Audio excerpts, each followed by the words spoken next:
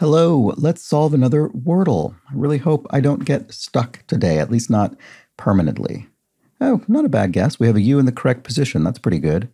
Could be taunt, maybe? Wow, no, but but I'll take that. That's good. Could be brunt, as in bear the brunt of an accusation. No, no. Oh, it's probably mount. That would have been a more obvious guess than brunt. Yes, it is indeed mount. Look at that. Wow, that's interesting. So this sort of shows how getting doing better on your first guess doesn't necessarily mean you end up solving the Wordle any faster. Well, go figure.